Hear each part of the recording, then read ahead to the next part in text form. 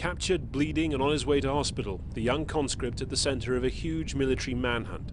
The 22-year-old apparently tried to take his own life after a standoff lasting more than 24 hours. He'd just spoken to his father and elder brother, who'd been brought to the scene.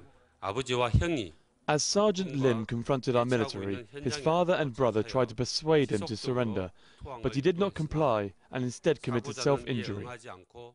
Lim had been on the run since allegedly throwing a grenade and opening fire on fellow soldiers at the remote military outpost where he'd been serving on Saturday night. Five soldiers were killed and seven injured in the attack.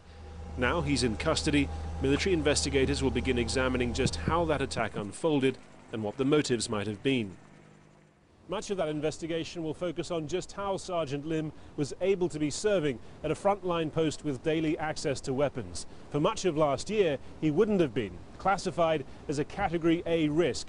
He was only downgraded to Category B in November.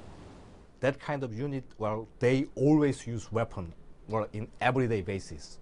So I mean, need very, very mentally stable, well, soldier over there. So, well, I mean, you just cannot bend this standard. The Ministry of Defence says about 7,000 soldiers are discharged early from national service every year over concerns about their fitness for military life. There have been two previous such shootings within the last 10 years. In both cases, the soldiers were found to have been bullied by their superiors. Harry Fawcett, Al Jazeera, Seoul.